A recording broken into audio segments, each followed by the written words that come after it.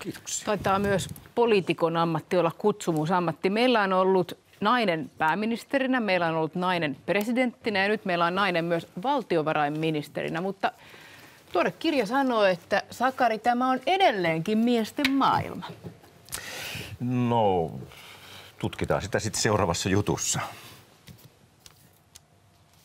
Hyvää iltaa. Ai niin, tämä alkoi jo. Joo, moro. Emma Gaala viime perjantaina. Naisministeri kohtaa rokkikukon. Joo, hoidetaan nopeasti, niin päässään yhteiseen hotellihuoneeseen panee. No mielellään ei kuitenkaan ehkä tätä iltaa jatketa tänään sellaisissa merkeissä, mutta jos Et ehkä siinä tilanteessa niin sellainen vahva koulutuminen siihen, että olen kuullut monenlaista työuran varrella, niin, niin auttaa sit siihen, että siinä tilanteessa ei yleensä hätkähdä mistään. Mä ajattelen niin, että hän on tällainen rokkarimies, jonka tehtävänä oli hätkähdyttää. Suomea pidetään tasa-arvon mallimaana, mutta naispolitiikot saavat edelleen kokea tytöttelyä ja vähättelyä. Tämä käy ilmi juuri ilmestyneestä Evelina Talvitien kirjasta Keites kahvia. Sen kannessa on entisen pääministerin koko vartalon ministeriksi tituleeratun Mari Kiviniemen takapuoli. Ei se kaikki julkisuus tietenkään kivaa ole ja kyllä joskus mennä hermot mennä, siihen, kun, kun tuota keskustelupalstoilla ruoditaan sitä, että miten sen pääministerin hiukset pitäisi olla. Olen saanut hirveän paljon urallani vinkkejä siitä, että kuinka voi pukeutua punaisiin ja keltaisiin jakkupukuihin ja kuinka pitäisi hiukset laittaa tai minkälaista meikkiä käyttää. Kyllä mun mielestä nämä oli kaikki erittäin hyvä perseisiä ehokkaita. Se on ehkä varmasti arka aihe meillä kaikille, joilla on ylimääräisiä kiloja, niin ei ole myöskään helppo harjoitus se, että miesten olutvatsoja ei harvatkaan kuitenkaan käy kammalla läpi, mutta että naiselle on helppo aina huomauttaa siitä, että, että olet taitanut lihota tai jotain. Jos nainen on asiallinen, niin hän on sitten tylsä tyyppi ja suorastaan hyytävä, mutta jos mies on asiallinen, niin hän on sitten jämäkkä ja osaava. Onhan se vähän niin, että kun miehellä on bossinpuku päällä ja pari latte ottaa saman päivän kauppalehdestä, niin hän menee heti talousasiantuntijasta.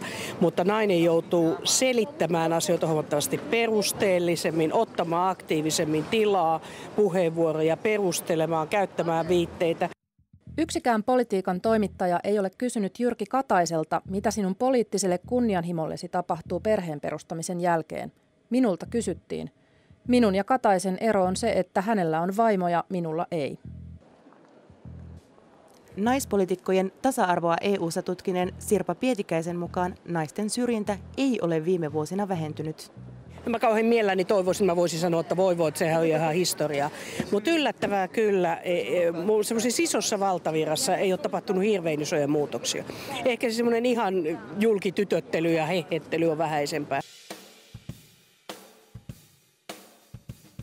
Kansanedustajina on nyt enemmän naisia kuin koskaan aikaisemmin.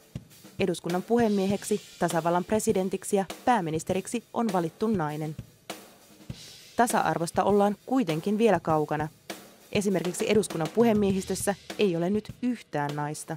On tietenkin hyvä, että eduskunnassa erittäin iso osa kansanedustajista, ei ihan puolet, mutta melkein puolet on naisia, että, että kansalaiset kyllä ottaa tämän tasa-arvo asiankin huomioon ja äänestää aika tasapuolisesti sekä naisia että miehiä, mutta, mutta toki näissä valinnoissa vielä sitten, kun edetään valiokuntien puheenjohtajiksi esimerkiksi, niin voisi sanoa, että ihan täysin vielä se tasa-arvo ei ole toteutunut.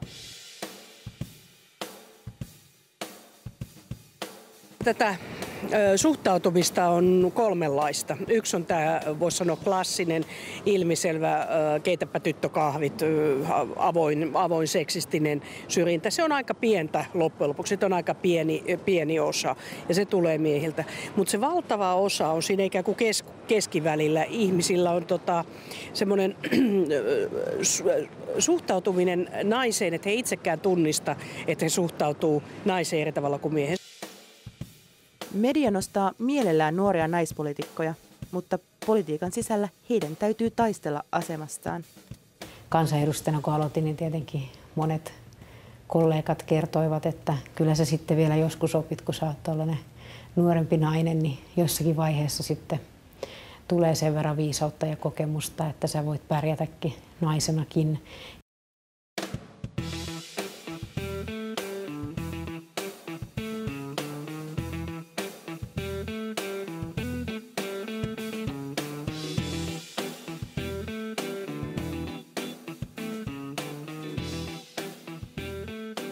Olemme olleet peruspalveluministerin kanssa eri mieltä ja meillä on oikeus sanoa mielipiteemme. Jos kaksi miestä ovat eri mieltä, kerrotaan, että he ovat eri mieltä. Jos kaksi naisministeriä ovat eri mieltä, he riitelevät. On tahtova tyyppi, josta miehestä tulee suuri valtiomies, naisesta tulee hankala akka, koska hän pitää päänsä. Kyllä pitkin matkaa ministerinä toimiessa, niin tätä kysymystä on nostettu esille, että voiko, voiko nuori nainen nousta tämmöiseen tehtävään. Ja se nyt vaan tähän poliittiseen kenttään edelleen hyvin vanhakantaisena tänä päivänä kuuluu, että naisen on se paikkansa hartiavoimin lunastettava tässä. Naiset luottavat liikaa siihen, että asiat ratkaisevat, eivätkä rakenna verkostoa. Miehet hyväksyvät joskus mitä vain, kun he ovat tukemassa kaveriaan. Arvoisa tasavallan presidentti. Nainen jää helpommin yksin. Anneli Jäätteenmäki ja Mari Kiviniemi ovat molemmat sanoneet jääneensä keskustan puheenjohtajana ilman riittävää tukea. Ei mulla ole koskaan ollut sellaista tunnetta, että, olen, että on niin yksi. Aina on ollut tukijoita, mitä keskeisiä ihmisiä mukana ja myöskin paljon sitä kentän väkeä, jotka tukee, mutta totta kai omaan ratkaisuun silloin, kun päätin, että en lähde tavoittelemaan jatkokautta keskustan puheenjohtaja, niin vaikutti se, että koin, että tukea ei ollut riittävästi. Olisiko miehellä ollut helpompaa? No siihen emme varmaan koskaan saa vastausta.